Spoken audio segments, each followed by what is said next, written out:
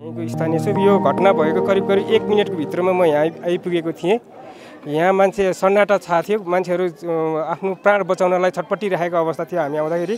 अवस्था चाहिँ अब त्यतिखेर चाहिँ ग्यास पड्क्यो ग्यास पड्क्यो भन्ने अवस्था आइरहेको थियो। तर हेर्दै जाँदाखेरि ग्यास सकुशल छ ग्यासको सिलिन्डर केही भएको देखिएन। एउटै यहाँ प्रेसर कुकर देखियो पाल परेको अवस्थामा छ प्रेसर कुकर पनि। यहाँ एकजना चाहिँ हाम्रो यहाँ ठाकुरजी हुनुहुन्छ चिनेको। उहाँलाई फर्स्टमा हामीले उद्धार गर्ने काम चाहिँ पहिलो उहाँ चिनेको भएर उहाँलाई फर्स्टमा उद्धार गरियो। साइड ल्याएर राख्यो। उहाँको चाहिँ खुट्टा चाहिँ खुट्टाले टेक्न सक्ने अवस्था छैन। खुट्टा फ्र्याक्चर छ।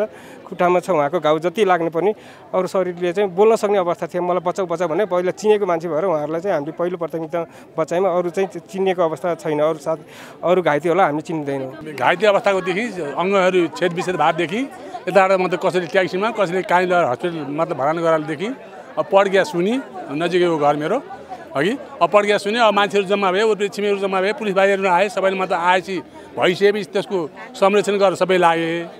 भइसकेको कुरो हो अब त्यसमा चाहिँ सबैले रक्षा गरे त्यही हो भाइ